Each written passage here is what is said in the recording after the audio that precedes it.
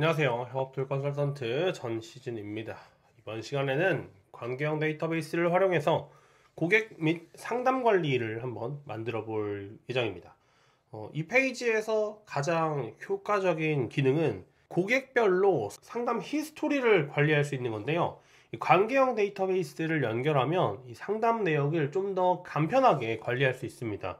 예를 들어서 고객 명단이 있고 이 김태희라는 명단에 들어왔을 때 고객 상담 일정이라는 데이터베이스 템플릿이 있어요. 이거 회의록 챕터 3에서 회의록 만들 때 썼던 그 데이터베이스 템플릿인데 이 버튼을 누르면 김태희라는 고객에 관련된 상담 일정과 내역이 자동으로 나옵니다. 이건 관계형 데이터베이스를 해야만 나올 수 있는 거기 때문에 관계형 데이터베이스를 제대로 배우고 한번 사용을 해볼게요. 순서를 이렇게 맞춰주면 더 예쁘겠네요. 자, 한번 만들어 봅시다. 처음 이 데이터베이스의 예시 사례를 그대로 다시 가져가고 싶으신 분들은 마우스로 얘네 둘 두 개를 데이터베이스를 선택해서 컨트롤 C 복사를 한 다음에 만들고 싶은 페이지에 들어와서 고객 및 상담 관리라고 하고 컨트롤 V로 붙여 넣어주면 됩니다. 그러면 이렇게 데이터베이스가 붙죠. 이때 데이터베이스의 이름을 제가 바꿔줘야 된다고 말씀드렸어요. 컨트롤 Shift R 누르시면 이름 바꿀 수 있고요. 이번에는 하트로 이모지를 바꿔보겠습니다. 헷갈리니까 숫자를 넣으셔도 돼요. 구분만 하실 수 있으면 됩니다. 자, 그 다음에 복제를 해오신 분들은 이제 관계형을 정리를 한번 해줘야 됩니다. 처음에 관계형이 설정되어 있기 때문에 기존에 있는 관계형들이랑 연결을 해제해 주셔야 되거든요. 어, 고객 관리에는 관계형이 없고 상담 관리에는 고객명이 관계형으로 되어 있네요. 그래서 이 고객을 삭제해 줍니다. 그리고 다른 관계형 있나 한번 살펴보고요. 관계형은 더 없네요. 이제 관계형을 연결해 주기만 하면 됩니다. 여러분들 보기 편하시라고 제가 인라인으로 바꿔놓고 작업을 하겠습니다. 자, 상담 관리와 고객 관리를 하는데 고객은 한 명 반드시 하나의 데이터가 있고 이 고객이 상담을 여러 번 진행할 수 있죠. 그래서 저는 어, 상, 여러 번 진행할 수 있는 이 상담 관리에서 관계형을 연결해서 고객을 연결해 주겠습니다. 플러스 눌러주고요. 아래로 내려와서 관계형 선택해 줍니다. 그리고 어, 고객 관리와 상담 관리에서 하트가 붙어 있는 고객 관리를 선택합니다. 제한은 이제 이 상담 하나는 반드시 하나의 고객만 들어가 있기 때문에 한 개의 페이지를 쓰고요. 고객 관리 페이지에 표시할 거냐 안 할 거냐 묻는데 저는 이번에는 안 하겠습니다. 이번에 하지 않으면 그냥 고객 목록에서 상담이 몇 번 됐는지 볼 수는 없지만 관계형은 연결되기 때문에 이대로 그냥 이 상담에서 어떤 고객을 했는지만 볼게요. 고객 관리를 앞으로 당겨주고 지금 여기 속성들 1을 보시면 다 앞에 숫자가 있죠. 속성에 보시면 1, 2, 3, 4, 5, 6, 7 숫자가 있어요. 이 숫자를 앞에 배치하면 숫자대로 속성의 이름이 순서가 정렬되기 때문에 처음 생성했을 때 그래서 이게 편리하신 분들은 앞에 숫자를 넣으셔도 됩니다.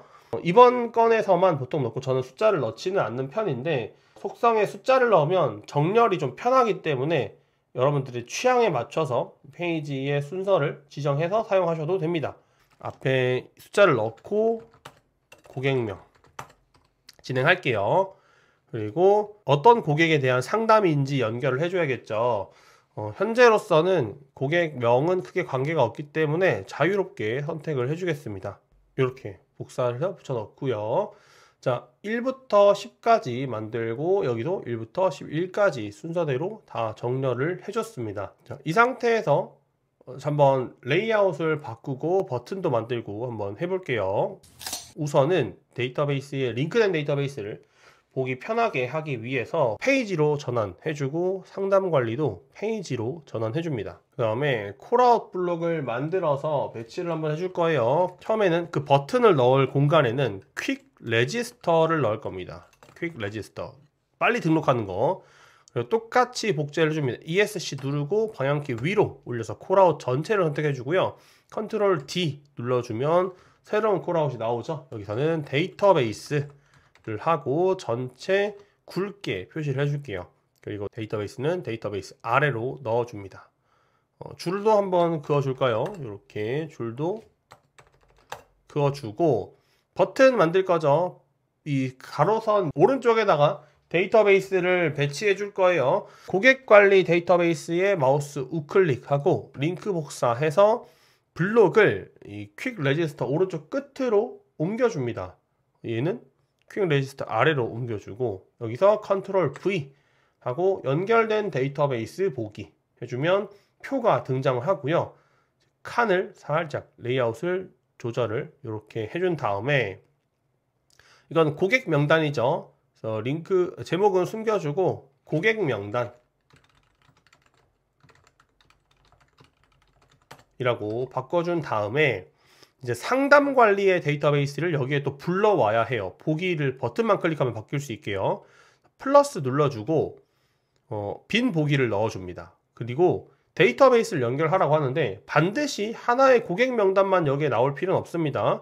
여기서 상담 관리를 눌러주면 상담 관리 데이터베이스를 불러올 수 있어요. 그래서 여기는 고객 관리 데이터베이스고 이거는 상담 관리 데이터베이스죠. 이렇게 서로 다른 데이터베이스를 불러와 줄 수 있습니다. 상담 상태는 체크박스로 만들어주고 순서대로 배치하면 되겠죠. 이 순서대로 배치할 때 숫자가 있으면 아주 편리합니다. 1, 2, 3, 4, 5, 6, 7, 8, 9 이렇게 순서대로 배치가 빠르게 해줄 수 있기 때문에 숫자를 앞에 넣는 것도 있고요. 속성의 크기만 이렇게 살짝 조절을 해주시면 속성 정렬이 아주 편리해집니다. 이렇게요.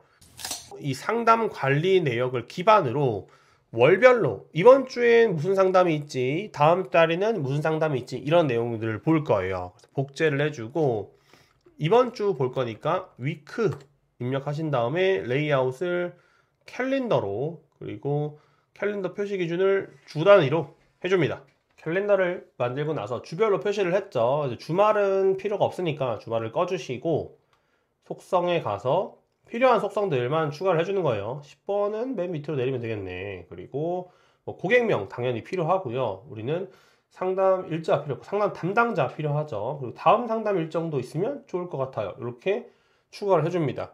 날짜가 다른 일정으로 들어와 있기 때문에 안 보이는 거고 날짜가 안 보인다 그럼 우리는 두 가지를 선택해 주셔야 돼요 어떤 속성들이 어, 캘린더로 표시가 되어 있냐를 봐야 되는데 다음 일정이잖아요. 근데 제가 과거로 돌아왔기 때문에 날짜가 안 보이죠. 다음 상담 일정은 이렇게 다음 주에 들어있기 때문에 요거 잘 보셔야 돼요. 캘린더의 표시 기준이 다음 상담 일정인지 현재 상담 일자인지 이걸 잘 보셔야 됩니다. 현재 상담 일자로 하면은 이렇게 바로 나오는 게 보이시죠? 고객명은 한가인이고 상담 담당자는 정우성이고 다음 상담일자는 언제이다. 이렇게 표시를 해줄 수가 있습니다. 그대로 복제를 해서 주 단위가 아니라 이번에는 월 단위, 먼슬리로 볼게요.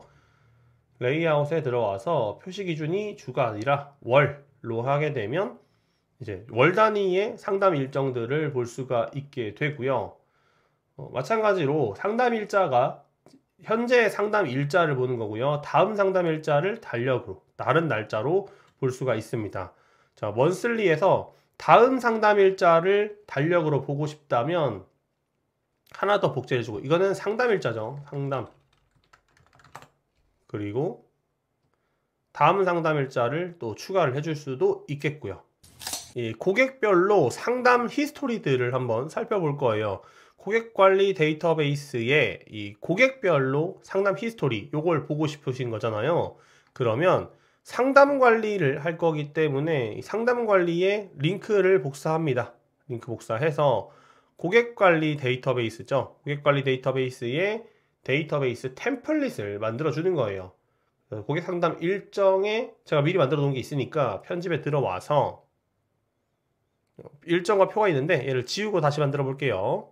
컨트롤 V 해서 붙여 넣어주고 상담 데이터베이스를 불러옵니다. 상담 관리 데이터베이스를 불러와서 필터를 걸어주는 거예요. 이 고객 상담 일정이라는 제목의 필터 관계형으로 필터를 걸어주는 거예요. 관계형으로 필터를 걸면 고객 상담 일정 하나 나오거든요. 요거 클릭하시면 이제 이 표에서는 페이지를 생성할 때마다 이 고객에게 맞는 데이터만 불러오게 됩니다.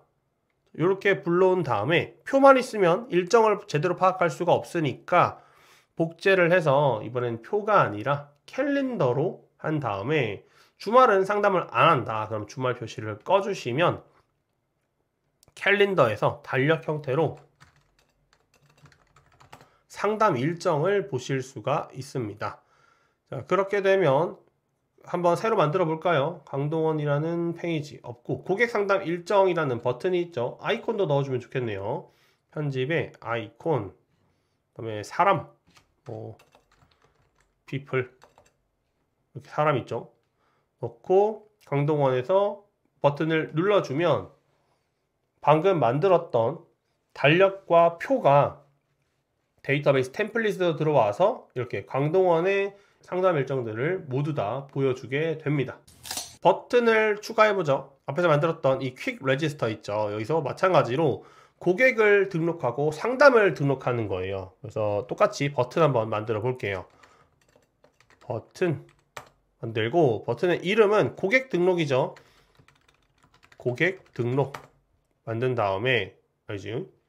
아이콘 추가해 주고요.